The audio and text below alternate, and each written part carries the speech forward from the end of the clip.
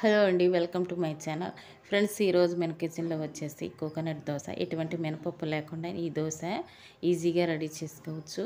ముందుగా బౌల్ తీసుకోండి. బౌల్ తీసుకున్న తర్వాత ఒక కప్పు వచ్చేసి బియ్యం నానబెట్టుకోండి.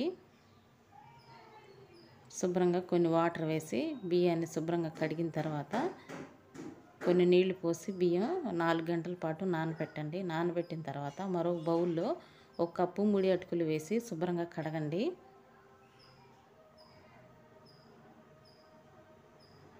కడిగి వాటర్ తీసిన తర్వాత ఇప్పుడు తగినన్ని వాటర్ వేయండి.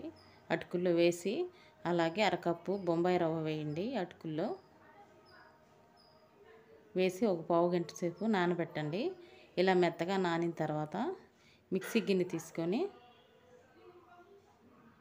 మిక్సీ గిన్నెలో రవ్వ అటుకులు వేయండి. వేసిన తర్వాత ఒక కప్పు కొబ్బరి తీసుకోండి పచ్చి కొబ్బరి. ఇలా బ్రౌన్ పాట్ తీసేసిన కొబ్బరి. ఈ కొబ్బరి వేసి మెత్తగా మిక్సీ పట్టుకోండి. ఇలా మెత్తగా మిక్సీ పట్టుకున్న తర్వాత నానబెట్టి ఉంచిన బియ్యం తీసుకోండి. ఈ బియ్యంలో వాటర్ అన్ని తీసేసి మిక్సీ బౌల్లో వేసి అలాగే కొంచెం వాటర్ కలపండి. వాటర్ కలిపి మెత్తగా గ్రైండ్ చేయండి. ఇలా మెత్తగా గ్రైండ్ చేసి ఒక బౌల్లో పోసి ఓవర్ నైట్ అంతా నానబెట్టించండి. మీకు అప్పటికప్పుడు కావాలంటే ఈనో పౌడర్ కలిపేసి దోశలు వేసుకోవచ్చండి. ఇలా ఓవర్ నైట్ అంతా నానబెట్టినట్లయితే ఈ దోశలు చాలా బాగుంటాయి.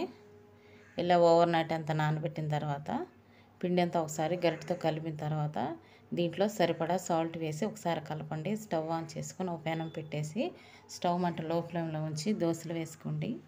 ఒక దోశ వేసిన తర్వాత కొంచెం ఆయిల్ వేసి మూత పెట్టేసి ఒక రెండు మూడు నిమిషాలు కాలనివ్వండి ఈ దోశ కాలిన తర్వాత ప్లేట్లో తీసుకోండి. ఫ్రెండ్స్ అలాగే మరో దోశ వేయండి. చాలా బాగుంటాయండి ఈ దోశలు కోకోనట్ దోశలు. ఈజీగా మనం రెడీ చేసుకోవచ్చు.